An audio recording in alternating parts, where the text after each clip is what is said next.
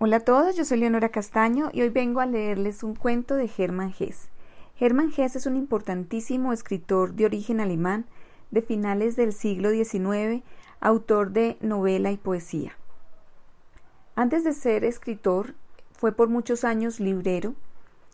Incluso cuando se presentó como voluntario en la Primera Guerra Mundial, no fue enviado al campo de batalla, sino que fue designado como responsable de todas las librerías de las prisiones alemanas. En la Segunda Guerra Mundial pues ya no estaba para eh, combatir, sin embargo fue un opositor acérrimo del régimen nazi. En su obra se encuentran importantes obras como El Lobo Estepario, Siddhartha, entre otros, que lo llevaron a ganar el Premio Nobel de Literatura en 1946. En su obra se manifiesta su interés por lo espiritual y sobre todo por la mística oriental. El cuento que les voy a leer hoy proviene de un libro que conseguí hace poco muy lindo de la eh, editorial austral que se llama El Caballero sobre Hielo y dice así. Era un invierno largo y riguroso, y nuestro hermoso río, que discurría por la selva negra, permaneció durante semanas completamente helado. No puedo olvidar aquel sentimiento peculiar de repulsión y hechizo a la vez con el que al inicio de un día gélido me adentré en el río, ya que éste era tan profundo y el hielo tan claro que dejaba ver, como a través de un fino cristal, el agua verde, el lecho arenoso con piedras, las fantásticas y enmarañadas plantas acuáticas y de cuando en cuando el dorso oscuro de un pez. Pasaba la mitad del día sobre el hielo con mis compañeros, las mejillas ardientes y las manos amoratadas, el corazón palpitando enérgicamente por el fuerte y rítmico movimiento del patinaje, pletórico de la maravillosa y despreocupada capacidad de fricción de la adolescencia. Nos entrenábamos haciendo carreras, saltos de longitud, saltos de altura y jugábamos a pillarnos los que todavía llevábamos los anticuados patines de bota que se anudaban fuertemente con cordones, no éramos los que corríamos peor. Pero un chico, hijo de un fabricante, poseía un par de Halifax, que no se sujetaban con cordones ni correas y que se ponían y quitaban en un abrir y cerrar de ojos. La palabra Halifax se mantuvo desde entonces durante muchos años en mi lista de regalos deseados por Navidad, pero sin ningún éxito. Y cuando doce años más tarde, al querer comprarlos lo mejor en patines, pedí unos Halifax en una tienda, tuve que desprenderme con gran consternación de un ideal y de una parcela de mi fe infantil, cuando me aseguraron, sonriendo, que los Halifax eran un modelo viejo, superado ya desde hacía tiempo. Prefería correr solo, a menudo hasta la caída de la noche. Iba a toda velocidad y mientras patinaba aprendía a detenerme o a dar la vuelta en el punto deseado. Me balanceaba con el deleite de un aviador que mantiene el equilibrio mientras describe hermosas piruetas. Muchos de mis compañeros aprovechaban aquellos momentos sobre el hielo para ir detrás de las chicas y cortejarlas. Para mí, las chicas no existían. Mientras algunos se recreaban en el galanteo, ya fuera para rodearlas ansiosos y tímidos o para seguirlas en parejas con atrevimiento y desparpajo, yo disfrutaba del libre placer de deslizarme.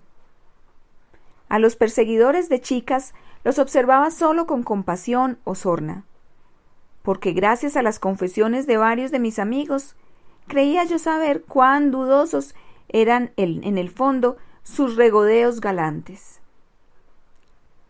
Un día, hacia finales del invierno de la escuela, llegó a mis oídos la noticia de que Cafre del Norte había vuelto a besar a Emma Meyer al quitarse los patines.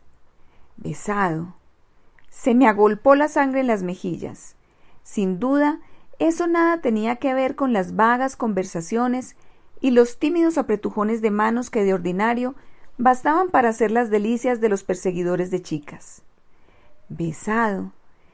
Aquello provenía de un mundo extraño, cerrado, vagamente intuido, que desprendía el aroma exquisito de las frutas prohibidas. Tenía algo de misterioso, de poético, de innombrable.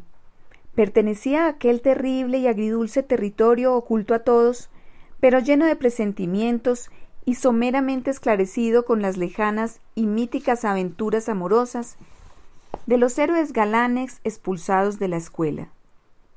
Cafre del Norte era un escolar hamburgués de catorce años, fanfarrón hasta la médula, a quien yo veneraba profundamente y cuya fama, que trascendía los límites de la escuela, a menudo me impedía dormir. Y Emma Meyer era indiscutiblemente la chica más guapa de Herbesau, rubia, despierta, orgullosa y de mi misma edad. A partir de aquel día discurrí planes y preocupaciones de índole parecida. Besar a una chica, aquello sí superaba todos los ideales que me había forjado hasta entonces. Era un ideal tanto por lo que representaba en sí mismo como también porque, sin duda alguna, estaba prohibido y sancionado por el reglamento escolar. Pronto se me hizo evidente que nada mejor que la pista de hielo para dar pie a mi cortejo solemne. Acto seguido, procuré mejorar mi aspecto para hacerlo más presentable. Dedicaba tiempo y atención a mi peinado. Cuidaba con esmero la limpieza de mi ropa como seña de hombría. Me ponía ladeada la gorra de piel y tras implorárselo a mis hermanas conseguí un pañuelo de seda rosa. Al mismo tiempo, empecé a saludar cortésmente a las chicas que me interesaban y constaté que ese desacostumbrado homenaje, aunque sorprendía, no era cogido con desagrado.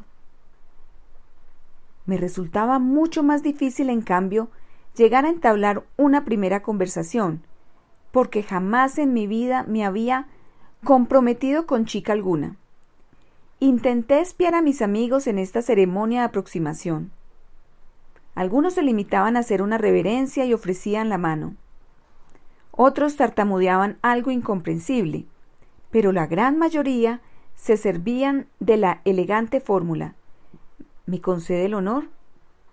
La frase me impresionó y la practiqué en casa, en mi habitación, inclinándome delante de la estufa mientras pronunciaba las caballerosas palabras. Llegó el momento de dar ese difícil primer paso. El día anterior había tenido veleidades de seductor, pero acobardado había vuelto a casa sin haberme atrevido a emprender nada. Por fin me había propuesto llevar a cabo sin falta lo que tanto temía y anhelaba. Con palpitaciones acongojado como si fuera un criminal, fui a la pista del hielo, y al ponerme los patines creí notar que me temblaban las manos.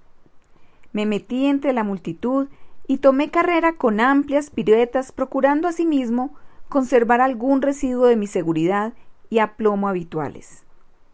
Crucé dos veces la pista entera a gran velocidad.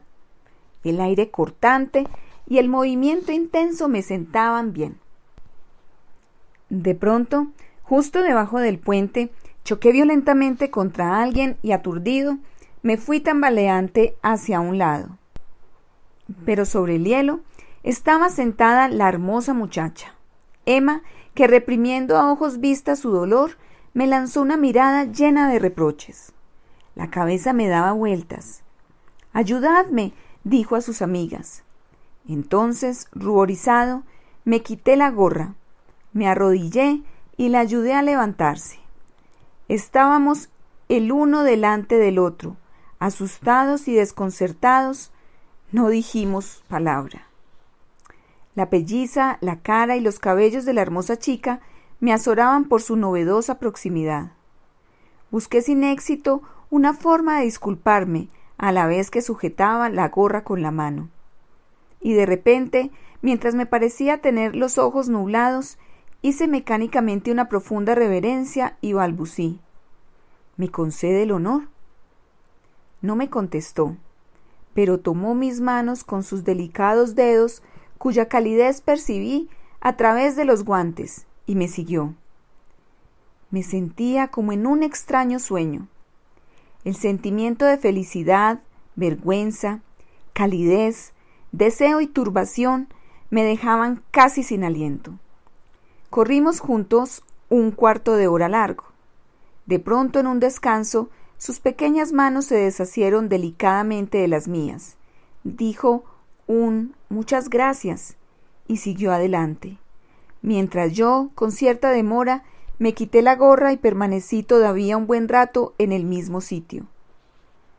Solo mucho tiempo después caí en la cuenta de que durante todo aquel tiempo ella no había pronunciado ni una palabra. El hielo se derritió y no pude repetir mi intento.